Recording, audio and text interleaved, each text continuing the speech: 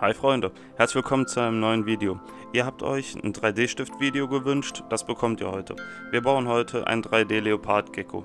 Was wir dafür brauchen, sind die üblichen Utensilien wie unseren 3D-Stift, PLA in verschiedenen Farben, Papier und etwas Draht. Im späteren brauchen wir noch einen Lötkolben und etwas Schleifpapier. Aber erstmal zum Anfang. Wir fangen an mit etwas Papier. Aus dem Papier formen wir den Grundkörper des Leopardgeckos. Dabei ist wichtig, die Proportionen einzuhalten. Außerdem wird uns das im späteren Verlauf sehr viel Arbeit sparen, da wir nicht so viel PLA drauf malen müssen. Aus dem Blatt formen wir jetzt erstmal den Körper des Leopardgeckos.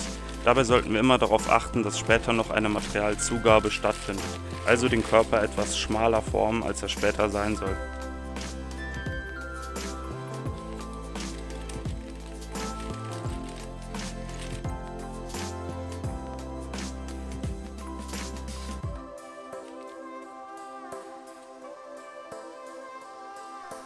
Nun verwende ich den Draht.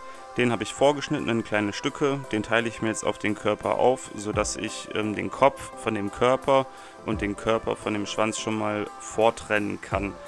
Dafür verbinde ich einfach die Stellen etwas fester mit dem Draht. Das sollte dann im Nachgang so aussehen. Die Schnauze ist auch schon ein bisschen schmäler gebunden und durch den Draht können wir den Körper auch schon etwas vorformen. Oft findet man ja Fotos, bei denen Leopardgeckos wie so ein S aufgebaut sind und das wende ich hier auch an. Die Beinchen sind ja sehr dünn im Verhältnis zum Körper, dafür verwende ich normalen Draht, den zwirbel ich ein bisschen zusammen, sodass ich daraus die Beinchen formen kann. Hier müssen wir natürlich darauf achten, dass die Vorderbeine leicht nach vorne ausgerichtet sind und die Hinterbeine leicht nach hinten ausgerichtet sind. Das war der letzte Schritt unserer Unterkonstruktion. Nun können wir anfangen mit dem 3D-Stift zu arbeiten, indem wir den ganzen Körper erstmal weiß ummanteln.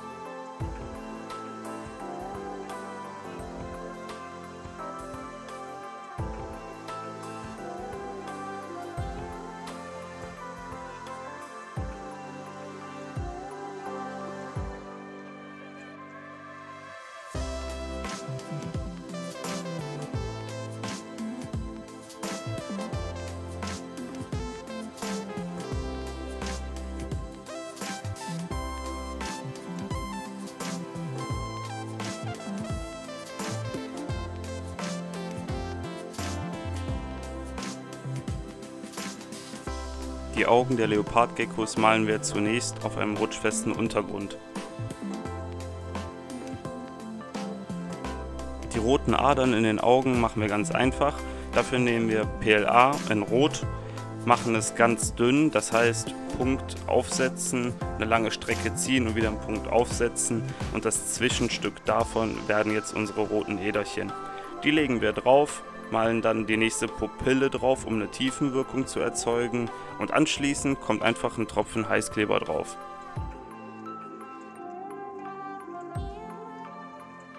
Meine Hoffnung ist ja durch den Heißkleber so einen Augeneffekt zu erzielen.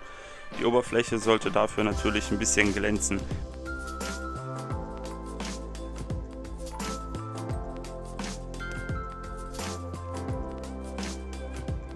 Unsere fertigen Augen können wir nun in den Kopf einsetzen.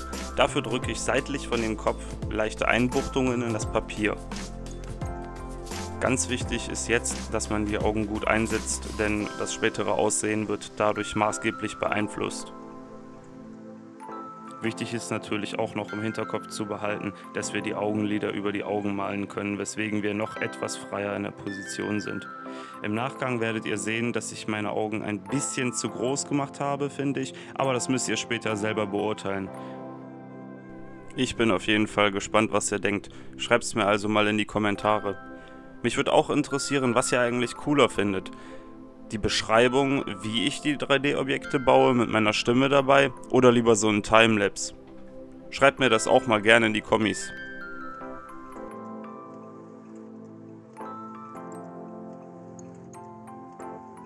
Hier können wir ziemlich gut sehen, wie die Augen aussehen, wenn ein Augenlid oben und unten angebracht ist.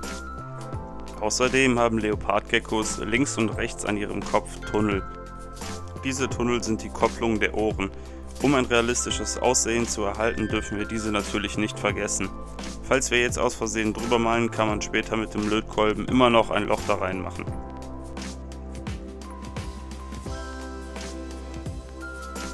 Nun kommen die Beine des Leopardgeckos dran. Dafür versehen wir einfach den Draht mit weißem PLA. Vorher können wir den Draht noch ausrichten und die Position erzielen, die wir in unserem Objekt letztendlich haben wollen. Dafür muss man manchmal einfach ein bisschen rumspielen und gucken, wie es dann letztendlich am besten aussieht. Wenn alle Beine dann ausgestaltet sind, können wir uns gleich dran machen, die Füßchen zu zeichnen.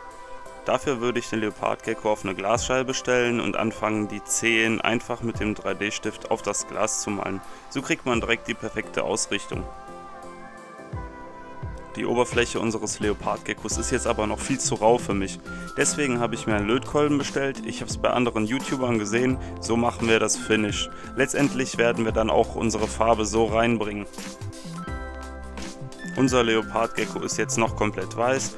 Ich mag weiße Leopardgeckos, aber für unseren werde ich jetzt das Rot, Gelb und Orange in Einsatz bringen. Das werden wir ganz einfach machen, während wir die Oberfläche finishen. Dafür verwenden wir jetzt unseren Lötkolben. Wenn ihr mit Lötkolben arbeiten solltet, müsst ihr sehr vorsichtig sein. Die Spitze ist zumindest bei meinem zwischen 200 und 400 Grad einzustellen. Wenn man da mit dem Finger aus Versehen drankommt, gibt das echt fiese Schäden. Also immer schön aufpassen. Unser Leopardgecko kriegt auf dem Rücken, auf dem Schwanz, zumindest am oberen Teil und etwas auf dem Kopf orangenes PLA.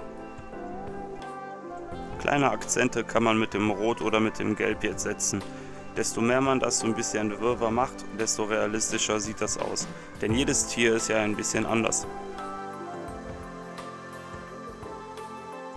Der Schwanz eines Leopardgeckos sieht ja so ein bisschen aus wie eine Möhre. Der hatte mal so Einbuchtungen. Die erzeuge ich auch mit unserem Lötkolben. Wusstet ihr eigentlich, dass Leopardgeckos ihren Schwanz abschmeißen können? Der wächst aber immer wieder nach. Naja, unserer wird seinen Schwanz auf jeden Fall nicht abschmeißen. Hoffe ich zumindest. Die letzten Akzente auf unserem Rücken setze ich mit Rot. Das Rot vermische ich dann wieder mit unserem Lötkolben mit dem restlichen Orange und Gelb.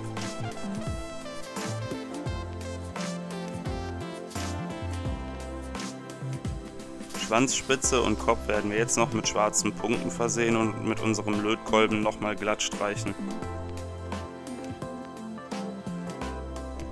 Leopardgeckos sind echt super interessante Tiere. Ich mag die total gerne. Wie sieht's bei euch aus?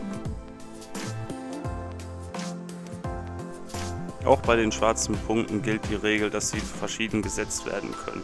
Bei keinem Tier ist es irgendwie symmetrisch aufgebaut.